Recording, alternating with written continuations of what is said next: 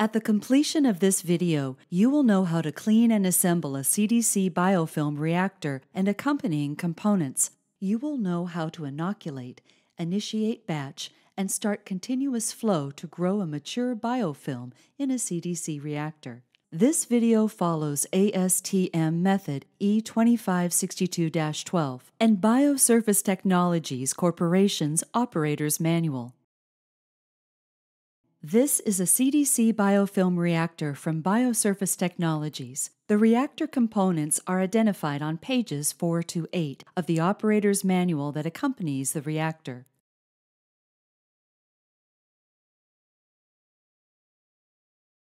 Reactor components are washed with laboratory detergent, rinsed well with tap water, then reagent grade water, and allowed to air dry.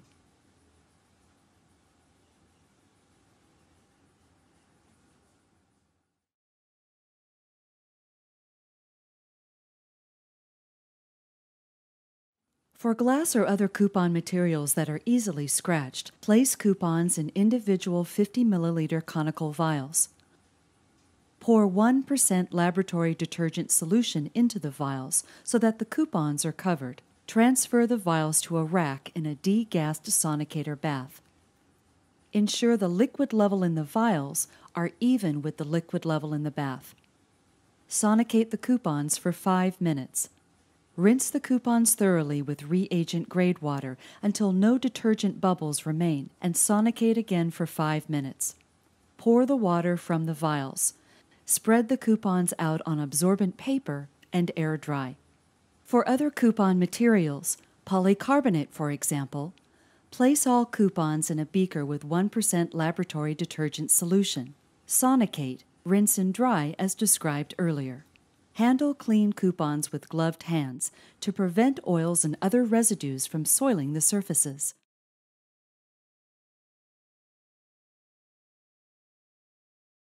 Fit the baffle blade into the cylindrical baffle holder so that the blade is aligned in the vertical notches. Slide the magnetic stir bar through the blade and cylindrical holder. Confirm that the stir bar is centered in the assembled baffle. Turn the CDC reactor top upside down and place the assembled baffle onto the glass rod. Invert the reactor beaker and seat the beaker onto the top. While holding the beaker and lid, turn the reactor upright.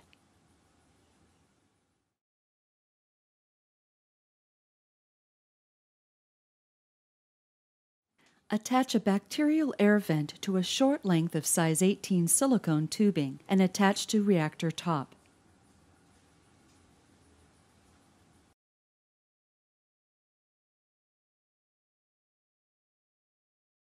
Attach a short piece of size 16 silicone tubing to the reactor top. This will serve as the inoculation port.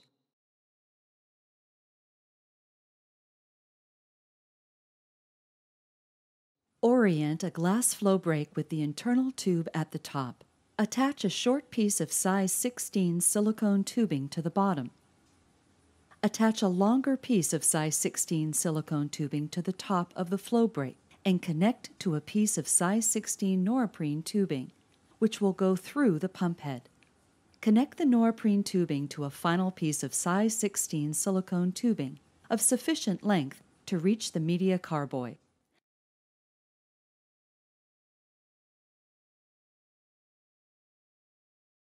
The effluent is gravity fed. Attach size 18 tubing of sufficient length from the effluent spout of the reactor to a waste carboy held in secondary containment on the floor.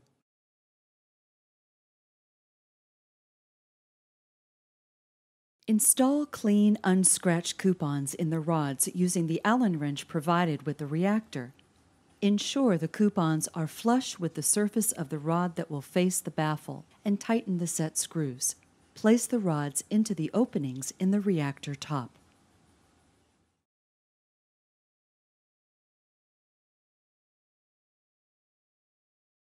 The volume of each reactor varies slightly. Volume should be determined with a fully assembled reactor in operational mode. To do this, place the reactor on a magnetic stir plate and clamp the effluent tubing. With reactor assembled, coupons in place and rods aligned in notches, remove a rod and add water to the reactor until it is above the effluent spout. Replace the rod. Place the effluent tubing in a beaker.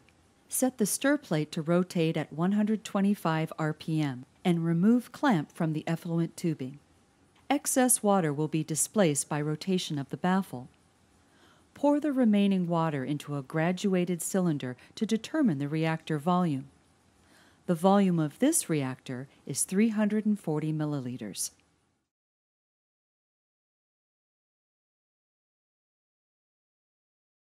The pump flow rate is determined by dividing the reactor volume by a residence time of 30 minutes. For example, a reactor with a volume of 340 milliliters will need a flow rate of 11.3 milliliters per minute. Follow the pump manufacturer's instructions to set the flow rate. Use the same size and type of tubing that will be used in the experiment. Confirm the flow rate with a timer and adjust accordingly so that it is within plus or minus 0.2 milliliters per minute.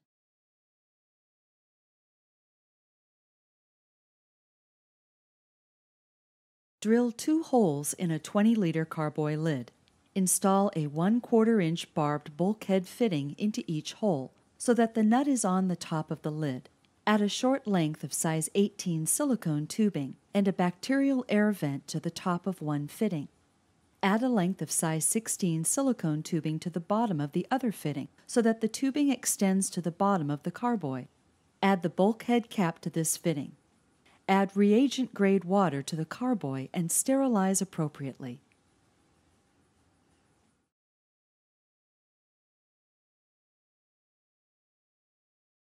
Drill two holes in a 20 liter carboy lid. Install a 1 4 inch barbed bulkhead fitting into each hole so that the nut is on top of the lid. Add a short length of size 18 silicone tubing and a bacterial air vent to the top of one fitting. Add a short length of size 18 silicone tubing to the bottom of the other fitting so that the tubing extends a few inches into the top of the carboy.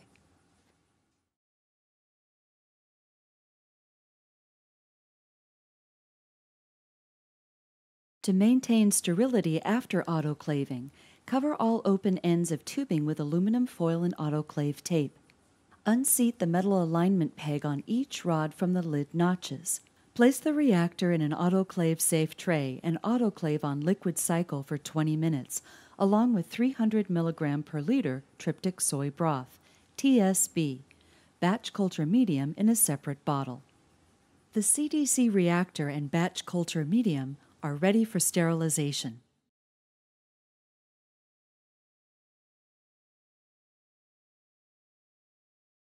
After the reactor has cooled, Clamp the effluent tubing to prevent the fluid from draining out of the reactor. Aseptically remove a rod from the reactor and place it in a sterile vial. Pour the batch culture medium tryptic soy broth, TSB, into the opening in the top of the reactor until the medium reaches the top of the effluent port. Return the removed rod to the reactor top and ensure that the pegs are aligned in the notches. Place the reactor on the stir plate and clamp the flow break to the ring stand.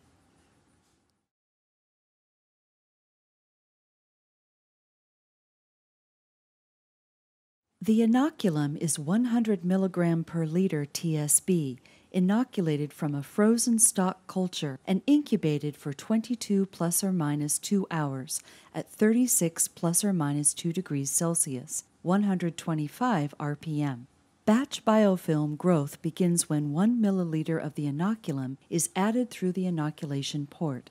Turn the stir plate on and set to 125 RPM. Incubate the reactor in batch phase for 24 hours at 22 plus or minus 2 degrees Celsius.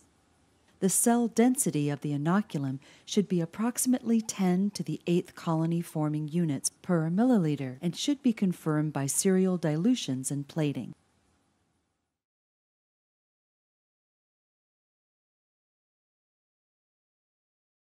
Sterilize a 20 liter carboy of reagent grade water. Note the actual volume in the carboy after autoclaving. To prevent caramelization, A nutrient medium concentrate of TSB is prepared separately. The final concentration required in the carboy is 100 milligrams per liter. Choose a volume in which to prepare the nutrient concentrate, in this case, 0.5 liters. To calculate the amount of TSB needed, add 0.5 liter to the carboy volume. Multiply the volume by 100 milligrams per liter.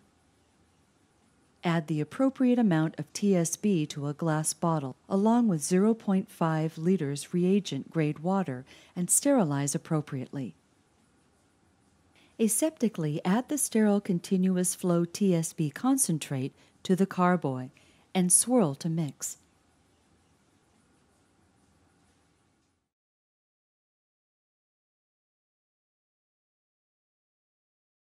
At the end of the batch phase, ensure that the effluent tubing is connected to a waste carboy and unclamped. Aseptically attach the continuous flow tubing to the continuous flow medium carboy. Turn the pump on to begin the continuous flow phase. Confirm that the continuous flow medium is being pumped into the reactor and that the waste is freely flowing through the effluent tubing into the waste carboy. It is important that no disinfectant, such as bleach, is added to the waste carboy during the experiment due to concerns of off gassing. Continuous flow phase runs for 24 hours at 22 plus or minus 2 degrees Celsius.